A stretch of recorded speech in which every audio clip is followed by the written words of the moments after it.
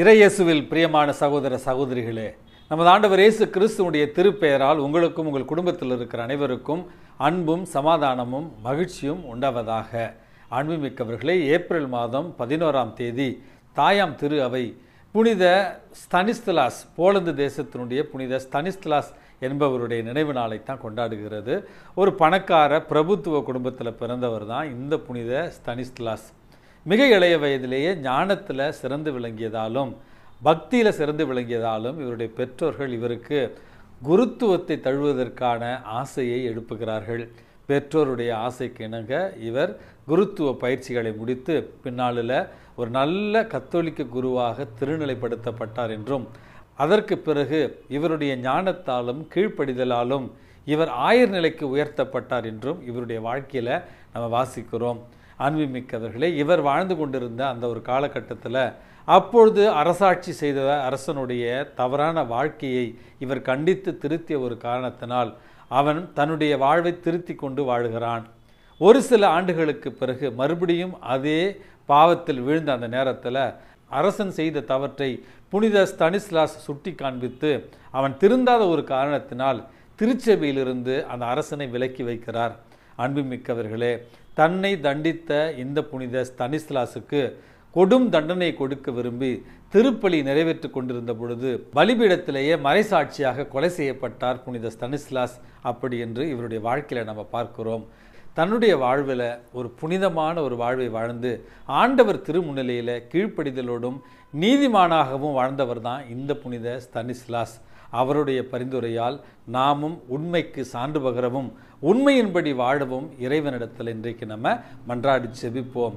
அன்புமிக்கவர்களே சமீபத்தில் அன்னை வேளாங்கண்ணி திருத்தலத்திற்கு நாகப்பட்டினத்தில் இருக்கிற அந்த திருத்தலத்திற்கு நான் சென்றிருந்தேன்.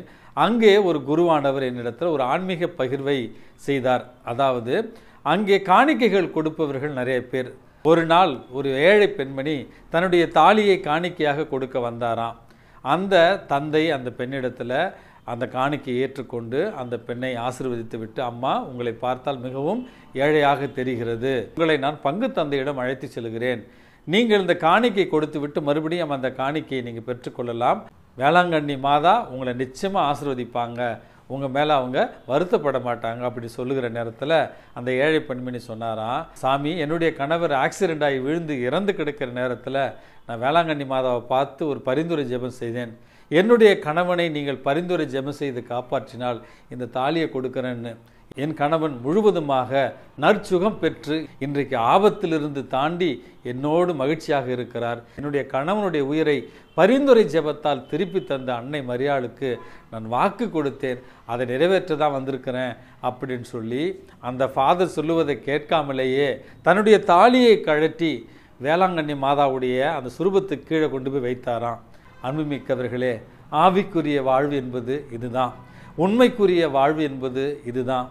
விசுவாசத்துக்குரிய வாழ்வு என்பது இதுதான். இன்னொரு நிகழ்ச்சி உங்களோடு பகிர்ந்து கொள்ள விரும்புகிறேன். நம்முடைய இந்திய தேசத்தில் மனித உரிமைக்காக போராடி சிறை சென்று சிறையில் மறித்த தந்தை ஸ்டான் சுவாமி அவர்களுடைய வாழ்க்கையில் நடந்த ஒரு நிகழ்ச்சியை உங்களோடு பகிர்ந்து கொள்ள விரும்புகிறேன். இறப்பதற்கு சில நாட்களுக்கு முன்பாக குளிரிலிருந்து தப்புவதற்காக அவருக்கு போர்வையை கொடுத்தார்களாம். அப்பொழுது இந்த அருட்தந்தை ஸ்டான் சுவாமி என்னோடு சிறையில் அடைபட்டிருக்கிற ஆயிரக்கணக்கான இளைஞர்களுக்கும் இளம்பெண்களுக்கும் கிடைக்காத இந்த போர்வை எனக்கு தேவையில்லை. அவர்களுக்கு என்று இது கிடைக்கிறதோ அன்றைக்கே நான் பயன்படுத்தி கொள்ளுகிறேன். அப்படி என்று தனக்கு செய்து தரப்பட்ட ஒரு சின்ன வசதியை கூட வேண்டாம் என்று சொல்லி உயிர் தியாகம் செய்து மனித உரிமையினுடைய பாதுகாவலராக இருக்கிறார் அருட்தந்தை ஸ்டான் சுவாமி. அன்புமிக்கவர்களே இதுதான் ஆவிக்குரிய வாழ்வு. இதுதான் உண்மைக்குரிய வாழ்வு இதுதான் இறைவனுடைய திட்டத்தின்படி நம்முடைய வாழ்க்கையை அமைத்து கொள்வது. இந்த இரண்டு நிகழ்ச்சிகளையும் நான் சொல்வதற்கான காரணம் இன்றைக்கு நமது ஆண்டவர் இயேசு கிறிஸ்து நிக்கோதேமுவிடத்தில் பேசுகிற பொழுது விண்ணிலிருந்து வந்தவருடைய வாழ்க்கை ஆவியினால் தூண்டப்பட்டவருடைய வாழ்க்கை எப்படி இருக்கும் மண்ணுலகில் இருப்பவர்கள் அல்லது இந்த மண்ணுலகை சார்ந்தவர்களுடைய வாழ்க்கை முறை எப்படி இருக்கும் அப்படி என்பதை மிக தெளிவாக சொல்லுகிறார். விண்ணிலிருந்து வந்தவருடைய வாழ்வு ஆவிக்குரிய ஒரு வாழ்வு. அந்த வாழ்வு தான் நமக்கு மீட்பை தன்னுடைய திரு தூய இரத்தத்தால் பெற்று தந்தது. சென்ற இடங்களிலெல்லாம் ஆசீர்வாதமாக திகழ்ந்தது. தந்தையை மாட்சிமைப்படுத்தியது. இறைவேண்டல் வழியாக தந்தையிடமிருந்து ஆசீர்வாதங்களை உங்களுக்காகவும் எனக்காகவும் பெற்று தந்தது என்றால் அதுதான் உண்மையான ஒரு ஆவிக்குரிய வாழ்வு. ஆம் அன்புமிக்க சகோதர சகோதரிகளே நம்முடைய வாழ்வு ஆவிக்குரிய ஒரு வாழ்வாக இருக்கிறதா? உண்மைக்குரிய ஒரு வாழ்வாக இருக்கிறதா? இறைவனுடைய திரு நியமங்களின்படி வாழ்கிற ஒரு வாழ்க்கை இருக்கிறதா? நம்முடைய வார்த்தையில் தூய்மை இருக்கிறதா? நம்முடைய வாழ்வில் ஒரு தூய்மை இருக்கிறதா? நம்முடைய வாழ்வு இறை திட்டத்தின்படி நடக்கிறதா?